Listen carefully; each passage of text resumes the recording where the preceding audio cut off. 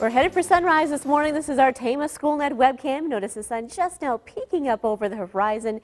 We do have clear skies across eastern Iowa, but already some clouds are going to be rolling in, coming in from the southwest. That means clouds and showers are in the forecast today, arriving in central Iowa here by late morning, lasting right throughout the afternoon, but tapering off this evening. So you'll probably need the umbrellas or at least the windshield wipers by around lunchtime today. Right now, the rain is still south of Iowa, stretching from near Kansas City over towards St. Louis, and a few showers back through central Nebraska, all trying to lift their way ever so slowly to the northeast, but still south of Lamoni and south of Red Oak right now.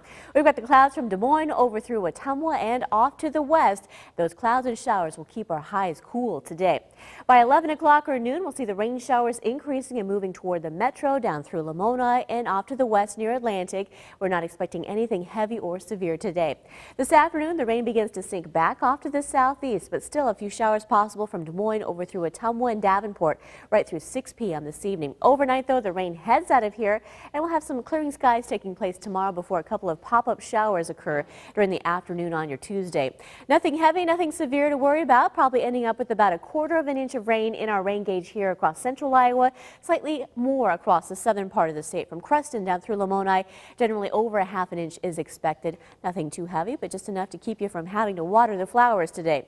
Right now in Des Moines, we're waking up to the clouds rolling in 51 degrees, a nearly calm breeze out there. It is chilly.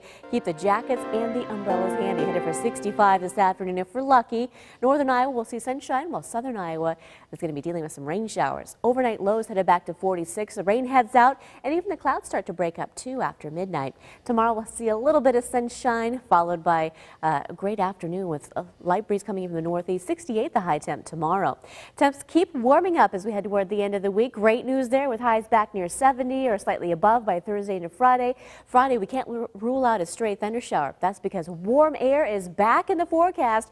Highs over the weekend, mid to upper 70s to near 80 degrees by Monday.